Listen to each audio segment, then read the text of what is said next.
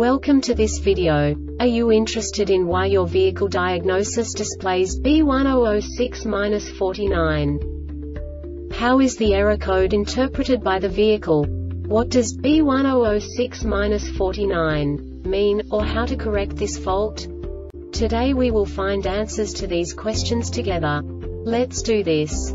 First, let's look at the history of diagnostic fault code composition according to the OBD2 protocol, which is unified for all automakers since 2000. We divide the electric system of automobile into the four basic units. Powertrain, body, chassis, network. This distribution is defined in the first character code. If the second character is expressed as zero, it is a standardized error. In the case of numbers 1, 2, 3 it is a more prestigious expression of the car-specific error. The third character specifies a subset of errors.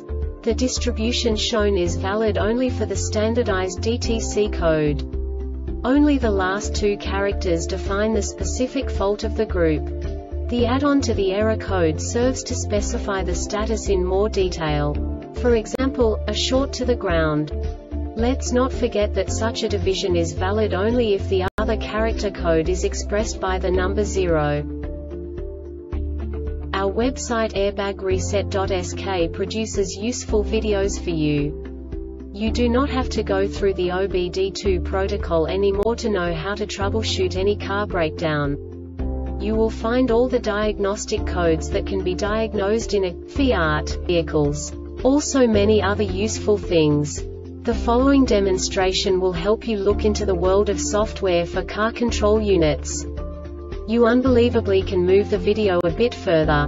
The error code is split into two bytes consisting of 16 bits.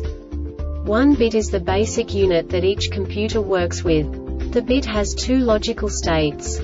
0, low level, 1, high level. By combining the first two bits, the basic character of the error code is expressed. The next two beats again determine the second character. The last beat styles of the first byte define the third character of the code. The second byte is composed of a combination of 8 bits. The first 4 bits determine the fourth character of the code. And the combination of the last 4 bits defines the fifth character. A single byte conceals 256 possible combinations.